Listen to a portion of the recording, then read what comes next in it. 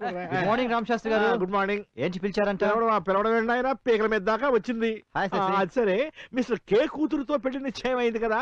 మరి ఆ భీమశంకరం గారి దగ్గర తీసుకున్న లక్ష తిరిగి ఇచ్చేస్తే బాగుంటుందేమోనని. ఏ లక్ష?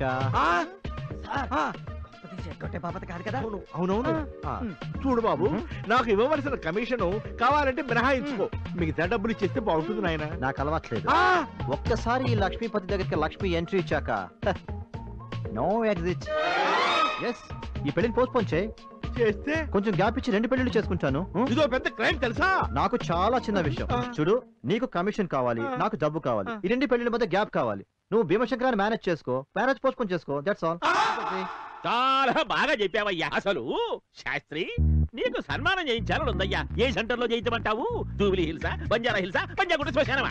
నాకు తిరిగి అడుగుతాను ఈ మధ్యన నీకేదో మంచి కమిషన్ లభించే పెళ్ళి దొరికినట్టున్నది అందుకే నా పెళ్ళి వాయిదా వేస్తున్నావు.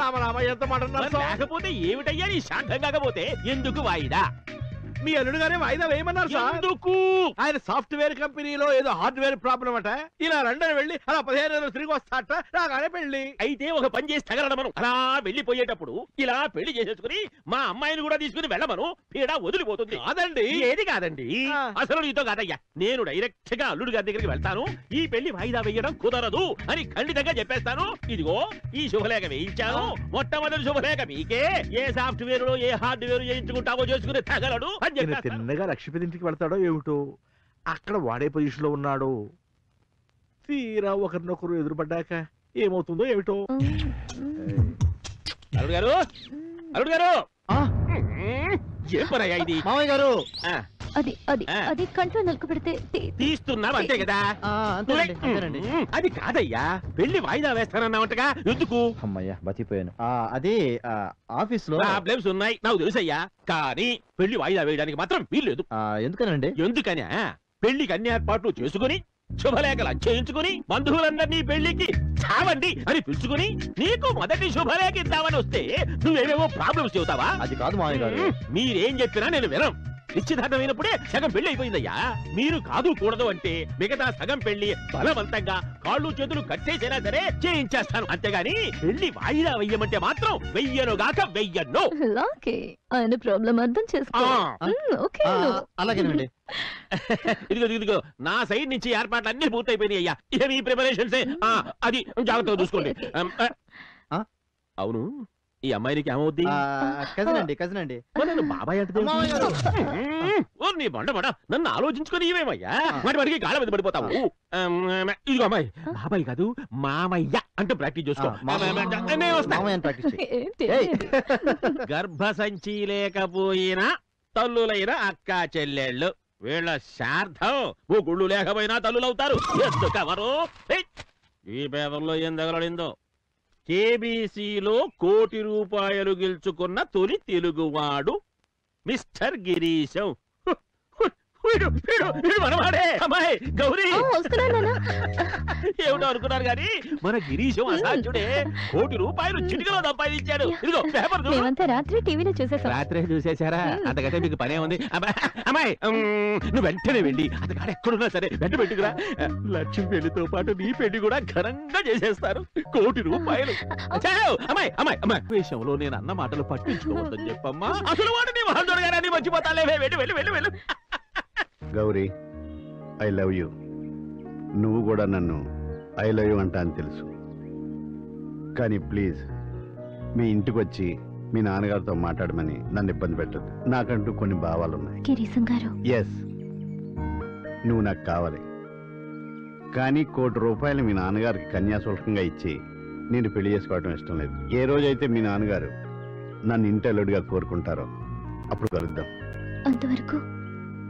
మీ నాన్నగారిని మార్చడానికి ప్రయత్నం చేద్దాం. కాకపోతే ఏజ్ బారైపోకుండా చూసుకోవాలి. ఒక్క కుజదోషమే కాదు ఎన్ని దోషాలు అడ్డొచ్చినా మిమ్మల్ని వదులుకోను. ఐ లవ్ యూ గిరీశం గారు. ఒరే వెంకటేశ్వర వెళ్ళారా వస్తున్నాను మామయ్య నీకు గుడ్ న్యూస్. ఏంటి? కథ క్లైమాక్స్ వచ్చింది నీకు పెళ్ళి డిసైడ్ చేశా. ఇరవై రెండున. ఒరేయ్ ఆ రామశాస్త్రి ఫోన్ చేయి. వెన్యూ ఎక్కడ? ఆ వెంకటేశ్వర స్వామి టెంపుల్. ఏదిరా? హలో రామశాస్త్రి. అయ్యా నమస్కారం. మా వాడికి పెళ్ళి ముహూర్తం డిసైడ్ చేశానయ్యా. ఎప్పుడండి? ట్వంటీ సెకండ్ నా కుదరదా? అది కాదండి. నీకు కుదరకపోతే నాకేంటయ్యా? నీకు ఇన్ఫర్మేషన్ చెప్పడం కోసం చేశాను. ఆ లక్ష్మీపతి గారిని పెళ్ళికి రెడీ చేయి. ఆ, ఓకే. చచ్చింది గొర్రె. అయితే ఒక కేజీ మటన్ కైమా కొట్టి ఇంటికి పంపించు. లేకపోతే ఏంటి యూస్లెస్ ఫెలా ఈ కే ఆర్డర్ చేస్తాడు నువ్వు అమలు చేయి. ఒరే అడ్డబొట్టు. అయ్యా. ఈ కైమా అంటే ఏమిటిరా? బహుశా అది గొర్రెబుచ్చుతో తయారైన వస్తువు కావచ్చు గురువు గారు అంటే స్వెటర్ లాంటిదన్నమాట. అలాంటిదే. అంతేలే. జరగబోయే రెండు పెళ్ళిళ్ళు తలుచుకుంటే వెన్నులోంచి తన్నుకొస్తుంది చలి. కైమా అవసరమే మరి. ఏంటి? లక్ష్మీపతి! దాచితో ఉప్పర్ మీటింగ్ లక్ష్మీపతి! ఎక్కడున్నావయ్యా. ఓహో ఇక్కడున్నావా ఏంటి రామశాస్త్రి గారు అంత కంగారుగున్నారు కంగారా కంగారా? నీకేం బాబు తడిగుండేసి కూర్చున్నావు? ఇక్కడ మాకు బొట్టు బొట్టు పడి ప్యాంట్ అంతా తడిసిపోయింది. అక్కడ వాడేమో కూతురు పెళ్ళి చేస్తే గానీ అమెరికా వెళ్ళాలంటాడు ఇక్కడ వీడేమో కూతురు పెళ్ళి చేసి గానీ నేను లండన్ పంపించానంటాడు నువ్వేమో ఇద్దరిని పెళ్ళి చేసుకుని దొబ్బేస్తానంటావు.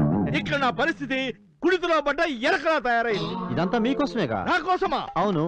అటో కమిషన్ ఇటో కమిషన్. నా ఒక్కటి పెళ్ళికే నీకు డబుల్ కమిషన్. ఆహా ఆ ఆనందం కన్నా దొరికితే జరగబోయే సంఖ్యల సన్మానం తలుచుకుంటే కారిపోతోంది ఇక్కడ.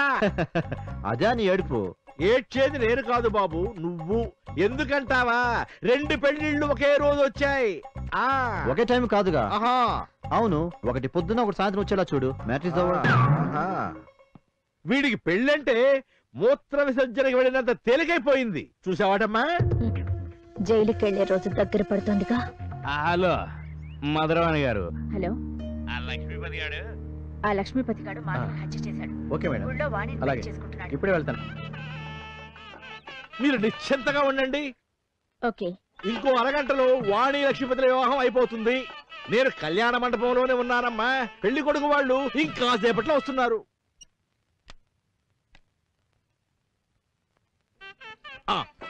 యూ మిస్టర్ బ్రోకర్ అయ్యా. ఫోన్లో రన్నింగ్ కామెంటరీ ఇస్తున్నావు. మధురవాణి గారికేనా. అవునయ్యా ముహూర్తం ఇంకా అరగంట ఉంది పెళ్ళి కొడుకు ఇంకా రాలేదు. ఏమన్నా కొత్త లిటికేషన్ ఉందా? తమరి మేధస్సు ముందు నా లిటిగేషన్ ఎత్తండి. అయ్యా అయ్యా ఆ. పెళ్ళి కొడుకు గ్యాంగ్ అంతా వచ్చేస్తున్నారండి. ఒక్క పెళ్ళి కొడుకు తప్ప. గ్యాంగ్ అంతా అంటున్నావు కొంపదీసి. ఆ బాపతేం కాదు కదా? నమస్తే. ఆ నమస్కారం. అయ్యా ముహూర్తం దాటిపోతుంది. పెళ్ళి కొడుకుని తీసుకురండి. ఏడీ పెళ్ళి కొడుకు ఏడయ్యా? నువ్వు ఇక్కడ ఉండి తతంగం అంతా నడిపిస్తూ ఉండు. అలాగే. నేను వెళ్ళి లక్ష్మిని ఆ, జాగ్రత్త. వెళ్ళి లక్ష్మీపతిని తీసుకురా. జాగ్రత్త గురుగారు. నమస్కారం. నడవండి ఏమిటా పెళ్ళి నడకలు? నమస్కారం మాయా. నమస్కారం చాలు, చాలు, నమస్తే అండి. చాలు, నమస్తే అండి. చాలు. అల్లుడు గారు నీటి ఒక్కరే వచ్చారు అందరూ పైన మండపంలో రెడీగా ఉన్నారండి ఆ. నేను మిమ్మల్ని పర్సనల్గా ఇన్వైట్ చేద్దామని వచ్చాను అయినా ఇదేం తిరగా అల్లుడు గారు ఆ సాయంత్రం ముహూర్తం అన్నారు పొద్దున్నే తగలమన్నారు అక్కడెక్కడో ఫంక్షన్ హాల్లో వెళ్ళన్నారు ఇదిగో ఇక్కడ గుళ్ళో పెట్టించారు చుట్టాలెవరికి ఈ మార్పులు అర్థం కాలేదు వాళ్ళు ఏ బస్ స్టాండ్ లోనో ఏ రైల్వే స్టేషన్లో అడుక్కుంటున్నారో నాకు తెలియదు ఇదిగో అందుబాటులో ఉన్న ఈ నలుగురిని వెంటేసుకుని నేను ఇక్కడికి తగలంటాను. అసలు నీ పద్ధతి వ్యవహారం చూస్తుంటే నాకేదో డౌట్గా. ఇది పబ్లిక్ ప్లేస్ అయ్యా. మాటి మాటికి ఇలా కాళ్ళ మీద పడుతుంటే ఎవరైనా అపార్థం చేసుకుంటారు. సాయంత్రం ముహూర్తం యమగండంలో ఉందంట. ఆ ముహూర్తంలో పెళ్ళి చేసుకుంటే ఇంటి పెద్దకి ప్రాణగండం ఉందంట. నాకు తెలిసిన క్లోజ్ జ్యోతిష్కుడు చెప్పాడు. మా ఇంటికి పెద్ద దిక్కు నువ్వే కదా మావయ్య. కాళ్ళ మీద పడ్డాలి అనుకున్నాను ఈ ఫీలింగ్స్ కూడా ఉన్నాయా? అల్లుడు మళ్ళీ పైకి వెళ్తే నలుగురు చూస్తారు బాగోదు ఓ బొట్లు. ఊ, ఊ. ఏమయ్యా? బాణం దెబ్బతిన్న బంగారు లేడిలాగా అరిచాడు మీ గురుడు. విషయం ఏంటో కనుక్కున్నా అడ్డుబొట్టు. అలాగేనండి. వెళ్ళు. ఆ, ఏం పేస్ట్ వాడతావయ్యా? శాస్త్రి నోరు తెరవగానే గొప్పను గప్పు కొట్టింది. ఉయ్, నోరు మూయ్. శుభమా అని పెళ్ళికి వచ్చాం అయినా నీ తింగరతనం కాకపోతే వెన్యూ మారిందని ముహూర్తం మారిందని మాకు తెలియ చెప్పాలక్కర్లేదా పాపం అల్లుడు గారు చూడు ఒక్కడే కింద మీద పడిపోతున్నాడు ప్రతి పనికి చిన్న పనికి పెద్ద పనికి. అయితే అంతా మారిపోయిందన్నమాట. ముహూర్తం ఉదయానికి మార్చమని మీకు చెప్పాను కదా గారు. మరి వాళ్ళకి ఉదయం అని చెప్పమన్నావుగా? ఎవరు వాళ్ళు? అవును మరి వాళ్ళెవరు? ఇదే టైంకి ఇంకో పెళ్ళి కూడా సెట్ చేశారేమో. ఆలోచించండి శాస్త్రి గారు. రేయ్ ఇలా. వచ్చేసానండి అయ్యా. అది అది. సత్య ప్రమాణంగా నాకేమీ తెలియదండి అయ్యా. మా గురువు గారు చెప్పినట్టు ఆయన పెళ్ళి తత్వంగా నడిపిస్తున్నాను. అంతే. నేను చెప్పినట్టు చేసావా నువ్వు కంగారు పడుకో శాస్త్రి. పెళ్ళిలో ఇలాంటి చిన్న చిన్న మా- మా- మా మార్పులు కన్ఫ్యూజన్స్ సహజమే. ఇదేమన్నా మామూలు కన్ఫ్యూజన్ లక్ష్మీపతి గారు? మరి అడ్డపట్టు అయ్యా. నువ్వు ఇక్కడ నుండి మిగతా పనులు చూస్తూ ఉండు. నాకు ఒక చిన్న పని ఉంది. నేను వెళ్ళొస్తా. అలాగే. ఆ. ఈ నడు తగలడ్డాడు వాడు ఇడు తగలడ్డాడు. వెళ్దాం రండి. అక్కడే.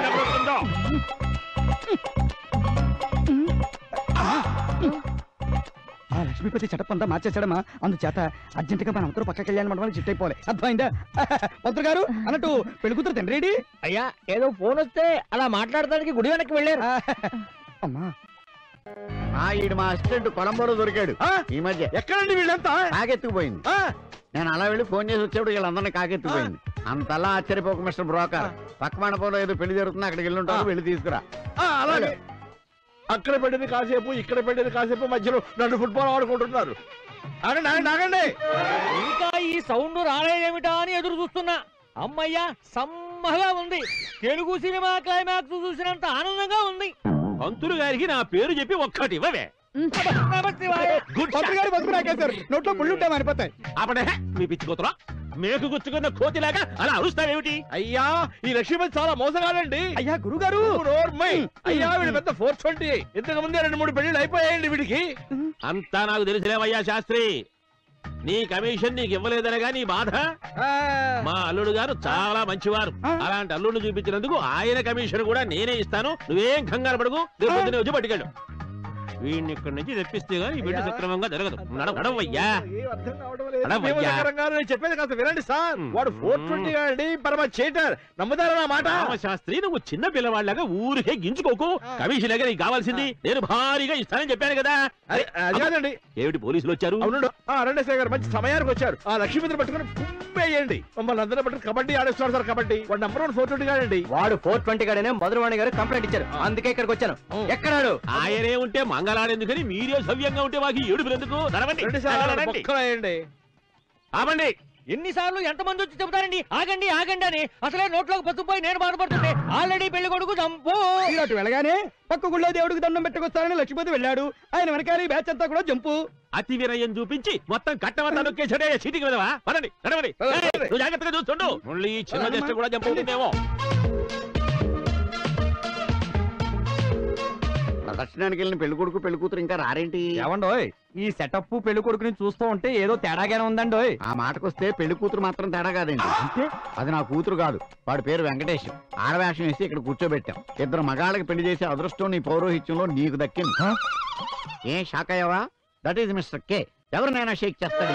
ఏడి వాడు ఎక్కడ వాడు చంపేస్తాను నరికేస్తాను పొడి చేస్తాను ఒక్క లారీ కింద పడుకోబెట్టి టైర్లన్నీ వాడి మీద నుంచి పొడి చేస్తాను ఒక్కడిని చంపడానికి మీరు ఇన్ని రకాలుగా ట్రై చేయక్కర్లేదు. మీరు వాడి మీద కూర్చుంటే వాడే చచ్చిపోతాడు. అసలు ఎవరు నువ్వు? నా పేరు నీకెలా తెలుసు? చెబితే లక్ష్మీపతి గారిని వదిలేస్తారా. ఆ మాత్రం దానికి క్వశ్చన్ బ్యాంక్ అంతా ఎందుకు? ప్రదర్శనానికి వెళ్ళారు వాళ్ళు వచ్చేస్తారు. ఇదే వత్తి. నా కొడుకు కాడవేషం వేసినట్టుగా ఉంది. మామయ్య నా వేషం గురించి మొత్తం తెలిసిపోయింది. బాగా చెప్పి వెళ్ళిపోయాడు. మధ్యలో ఈ వేషం కూడా ఏమిటి? ఎవరి అమ్మాయి? అయ్యా లక్ష్మీపతి పారిపోతున్నాడండి. ఏమయ్యా ఆ మ్యాటర్ మా అందరికీ తెలుసు. నువ్వు సీక్రెట్గా ఏం చెప్పక్కర్లేదు. లక్ష్మీపతి జంప్. అవును భీమశంకరం గారు. గిరీశం గారు మధురవాణి కలిసి మీ లక్ష్మిని మోసగాడి బారిన పడకుండా ఆడిన నాటకం ఇది. మేమందరం దాంట్లో పాత్రధారులు. మరి నా డబ్బులు? భీమశంకర్ గారు మీ డబ్బులు ఎక్కడికి పోవు. లక్ష్మీపతి తప్పించుకోలేడు. మారిపోయిన అపూర్వ గారు లక్ష్మీపతి గురించి అంతా చెప్పారు కాకపోతే మాధవ్ని హత్య చేసి మన ప్లాన్ అంతా తెలుసుకొని తెలివిగా పారిపోయాడు కానీ గిరీష్ గారు వాడిని వదలరు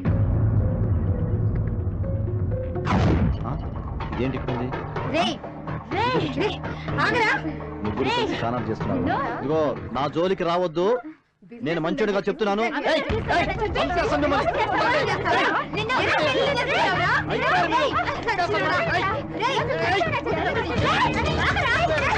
ఏయ్, చంపేస్తాను మిమ్మల్ని. నా జోలికి వస్తాను.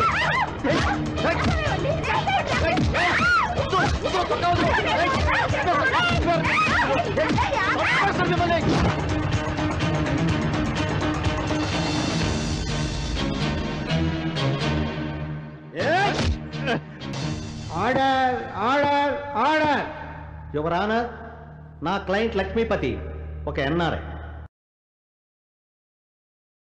సంఘంలో గౌరవంగా బతుకుతున్న వ్యక్తి.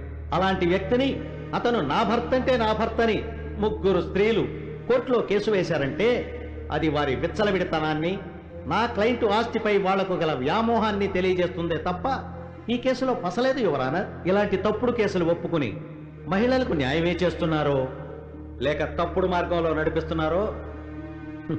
గౌరవనీయులైన లాయర్ మధురవాణి గారికే తెలియాలి. సాక్ష్యాధారాలు లేకుండా కేసును కోర్టుకు తెచ్చి ఫలానా రోజున కలుసుకున్నాం కాపురం చేశాం. అంటూ కోర్టు వారి విలువైన సమయాన్ని వృధా చేయటం ఎంతవరకు న్యాయమో తమరే ఆలోచించాలి యువరానర్ మహిళల్ని గౌరవించాలి. అది మన సాంప్రదాయం. దాన్ని అతిక్రమించిన ఈ ముగ్గురిని వారిని ఈ పనికి పురుకొల్పిన మధురవాణి గారిని మందలించి నా క్లయింట్ లక్ష్మీపతిని నిర్దోషిగా విడుదల చేయవలసిందిగా మనవి చేసుకుంటున్నాను. That's all your honour. Any questions congrats అదరగొట్టేశారు. ఎంతైనా మీరు సీనియర్స్ బట్ సీనియర్స్ కేసుని దగ్గరగా చూడడం అలవాటు చేసుకోండి. డబల్ మీనింగ్లో మాట్లాడుతోంది. పంప ముంచేలా ఉందే? మీ పేరు? I'm Lock Patchy from UK మరి లక్ష్మీపతి అన్నారు? Yeah Lock Patchy from UK Lock Patia Lakshmipathi what is your name objection your honour తన పేరు తనకిష్టం వచ్చినట్టు పిలిపించుకునే హక్కు నా క్లయింట్ ఉంటుంది. ఎస్ పేరుని కుదించి తగ్గించి పలకొచ్చేమో గాని. రామారావు సుబ్బారావుగా లక్ష్మీపతి లాక్ పాటిగా మారే వీల్లేదని మాధవరావు గారికి తెలియంది కాదు. Objection Lakshmipathi from UK UK అంటే Uravakonda? No no no no UK అంటే యునైటెడ్ కింగ్డమ్ హ్మ్. ఈ బోన్లో ఉన్న అమ్మాయిలు ఎవరో తెలుసా? చూడలేదు. చూసారా అని అడగలేదు. తెలుసా అని అడిగాను. తర్వాత ఎటు కూడా చూసారనే కదా మీరు అడుగుతారు. ఇంటెలిజెంట్ ఒకరిని రెడ్డప్పగా ఇంకొకరిని రామకృష్ణగా మరొకరిని సురేష్గా పెళ్ళి చేసుకుని మోసం చేశారా? ఆంధ్ర సీడెడ్ నైజాం నుంచి ముగ్గురు అమ్మాయిలు తీసుకొచ్చి వీళ్ళందరినీ నువ్వు పెళ్ళి చేసుకున్నావు నీ సమైక్య ఆంధ్రప్రదేశ్ అని పదే పదే నా మీద రుదుతున్నారు అసలు నేను మీకు ఏమన్యాయం చేశాను మేడం? అసలే వయసు అయిపోయి పెళ్ళి కాకుండా నేను ఇబ్బంది పడుతుంటే. భుజాలు తడుముకోకండి mister. Answer to the point మోసం చేశారా లేదా? మోసమా? అసలు మోసం అనేది నా లైఫ్లోనే లేదు madam. Note this point your honour ఇదేదో ఊబిలో దించేట్టుంది. భీమశంకరం గారి కూతురు లక్ష్మితో రీసెంట్గా మీ ఎంగేజ్మెంట్ అయిందనుకుంటా? ఏ మేడం. నేను పెళ్ళి చేసుకోకూడదా? ఒక్కరినే చేసుకోవాలి. వంద మందిని కాదు. ఆ తర్వాత వాణిని పెళ్ళి చేసుకుంటూ అరెస్ట్ అయినట్టున్నారు. అవును. కట్నం ఎక్కువ వస్తుందని వాణిజ్యం చేసుకుందాం అనుకున్నాను. అయినా లాభానికి ఆశపడని మగవాడు ఎవడు ఉంటాడండి? లక్ష్మితో నిశ్చితార్థం చేసుకుని కట్నం ఎక్కువని వాణితో పెళ్ళి. ఇది మోసం. కట్నం తీసుకోవడం నేరం. కట్నాల కోసం ఒకరికి తెలియకుండా మరొకరిని పెళ్ళి చేసుకోవడం ఘోరం. ఏమంటావు mister Lakpati from UK? Alias Lakshmipathi alias Tikkavarapu Saidulu cycle mechanic from Uravakonda?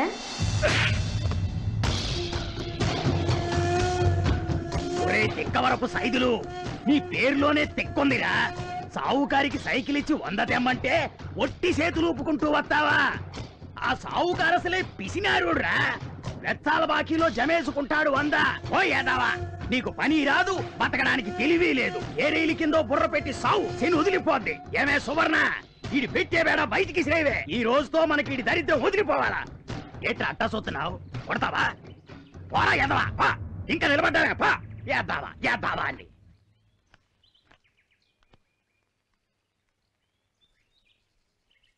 Saidulu నేను వస్తానురా.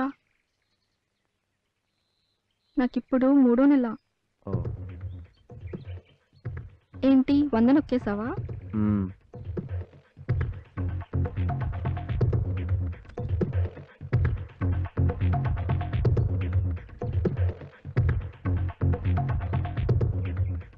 నీకు పని రాదు బతకడానికి తెలివి లేదు. ఏ రైలు కిందో బుర్ర పెట్టి సావు శని వదిలిపోద్ది. సావు శని వదిలిపోద్ది.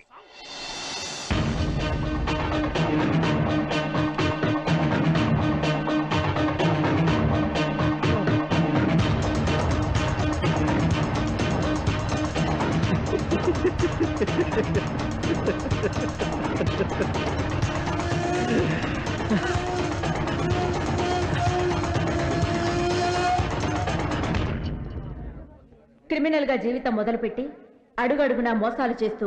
ఎస్ ఎస్ నేను మోసగాడిని. మోసపోయే వాళ్ళు ఉన్నంత వరకు నేను దొరనే దొరకనంత వరకు నాలాంటి వాళ్ళు ఈ సొసైటీలో వందలు వేలు లక్షల్లో ఉన్నారు. వాళ్ళకి ఈ పాపలు చేపల్లాగా దొరికిపోతున్నారు. పాపం బలైపోతున్నారు.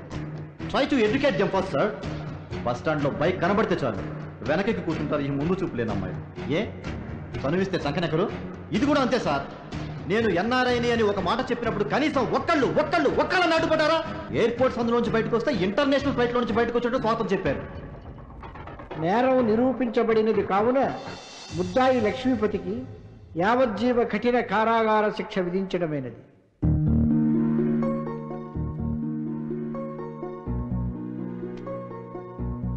కోటి రూపాయల? కనీసం ఇప్పుడైనా మీ పేరు చెప్తారా? కొంచెం పెద్ద పేర్లేండి టైం పడుతుంది గిరీశం గారు. మేడం ఆయన పేరు గిరీశమా? మీకు తెలీదా? లేదు మేడం. మన సంస్థకి ఎక్కువగా దానాలు చేసే సీక్రెట్ డోనర్ ఆయనే. ఎప్పుడు అడిగినా పేరు చెప్పలేదు. ఈ రోజు కోటి రూపాయలు చెక్ ఇచ్చారు. గిరీశం గారు గిరీశం గారు. థ్యాంక్స్ అండి గిరీశం గారు. ఇలాంటి సంస్థలకు మీలాంటి వాళ్ళు కావాలి. పొగిడితే పాడైపోతానండి. మీరు చేస్తున్న మంచి పనికి ఏదో കൊടുത്താ സായി